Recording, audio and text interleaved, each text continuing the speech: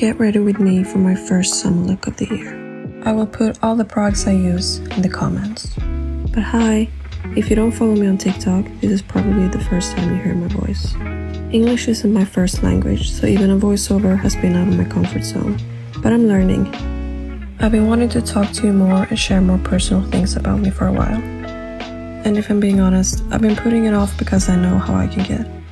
I get in my head easily, and if I'm stressed, it can really affect my mental health. This is another story, but if you're a perfectionist and always put immense pressure on yourself, you probably know what I'm talking about. Anyway, I'm feeling good now, and I'm excited about what's to come. We've been working nights and weekends on the house renovation, and it's so much fun. Let me know if you want me to post any reels on the process. I'm most excited about having my own gym and a new kitchen. Workout videos and cooking videos will be coming. I'm so thankful for all the trips I've taken and all of the amazing places I've seen over the years. But my dream and really my plan for my life has always been a simple and calm life.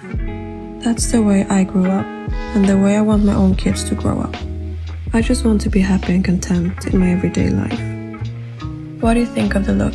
I always do lots of red blush in the summer. I love a sun-kissed look. Tell me what videos you want to see next. Bye!